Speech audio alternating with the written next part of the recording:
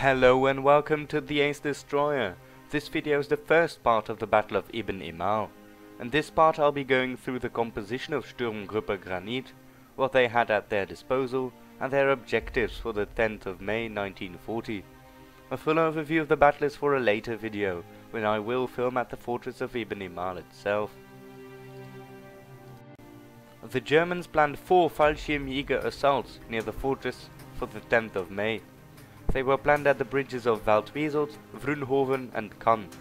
The remaining objective was the fortress of Eben Emael, one of the most sophisticated fortresses of its time. These attacks would be carried out by the Sturmabteilung Koch. The attack of the fortress itself was planned for Sturmgruppe Granit.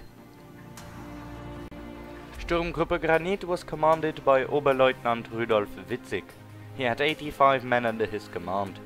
The 86-man strong Sturmgruppe would be transported in 11 gliders of the type DSF-230. In order to take out their fortified objectives, mostly being casemates, turrets and various other bunkers, the Fallschirmjägers took hollow charges with them. This was a new type of explosive which could easily take out such fortifications. The Sturmgruppe was armed with around 6 MG-34s, 18 MP-38s and around 54 Kar 98Ks. Every single Fallschirmjäger also carried a pistol with him.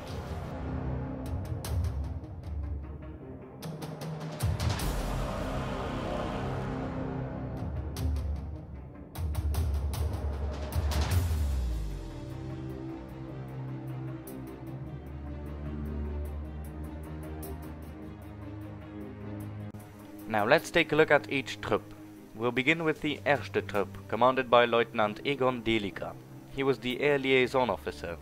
With him were two NCOs, Feldwebels, Niedermeyer and pilot Raschke. The other five of the troop were regular soldiers. Troop 2 consisted of three NCOs and five other ranks.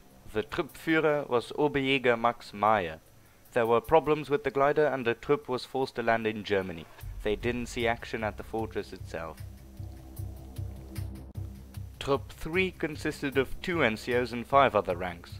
The third troop was commanded by Oberjäger Peter Arendt. Troop 4 consisted of two NCOs and six other ranks. It was commanded by Oberfeldwebel Helmut Wenzel, who would get wounded to the head later on the 10th of May 1940, hence the bandage on his head. The fifth troop had three NCOs and five other ranks. This glider was commanded by Feldwebel Erwin Haug. The 6th troop was commanded by Oberjäger Siegfried Harlos and also consisted of 3 NCOs and 5 other ranks. Oberjäger Fritz Heinemann commanded the 7th troop. Under his command was one other NCO and six other ranks. 8th troop, commanded by Oberjäger Karl Unger, consisted of three NCOs and five other ranks. Oberjäger Ewald Neuhaus was in command of the 9th Trupp, which consisted of three NCOs and four other ranks. The 10th Trupp was in reserve. It was commanded by Oberjäger Willy Hübel and had two more NCOs and five other ranks. The 11th Trupp was in reserve as well. They too had difficulties and could only land on the fortress at 0.30 in the morning. And this Trupp was the overall commander of the Sturmgruppe, Oberleutnant Rudolf Witzig. The trip was completed by two more NCOs and four other ranks. The main objective for the Sturmgruppe Granit was like I said the immense fortress of Eben Emael. In order to take out the whole fortress in the least amount of time, each troop had one objective. Because two gliders fell out, some groups had to take out two objectives. The first troop's objective was the Maastricht 2, a triple 75mm gun emplacement. Second troop objective was the Cupola 120 with its two 120mm guns, but because they had to land in Germany, Troop 10 took over this objective. Third troop had the Maastricht 1 and the Block 2 for their record. Maastricht 1 was a triple 75mm installation. Block 2 consisted of machine guns and anti-tank guns. The objective of the 4th troop was Mi Nord, an observation emplacement with a searchlight and machine guns. The AA positions and Block 5 would be taken out by the 5th Troop. The Block 5 was equipped with a double 75mm gun installation and had a handful of machine guns defending it. 6th Troop had as an objective a 120mm gun cupola, which turned out to be a false gun. Their other objective was the Canal Nord bunker, with AT guns and machine guns. 7th Troop objective was the most northern objective, a 120mm cupola, which too turned out to be a false one.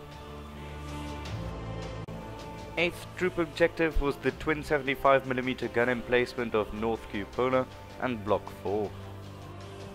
9th troop objective was the Mi Sud, an observation bunker. 10th troop had to Visé 1 bunker as objective. This bunker had a triple 75mm gun installed. Because the 2nd troop couldn't make it, the 10th troop also took the 120mm gun emplacement for their record.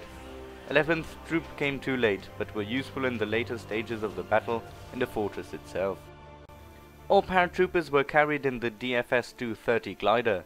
This assault glider had a capacity of carrying 9 fully equipped men and an extra load of 270 kilograms.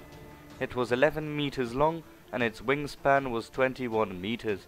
It was the perfect plane or glider for the job. With the DFS-230, they were able to silently glide their way on top of the fortress. It was also perfect for the Truppen as each troop could fit in one glider.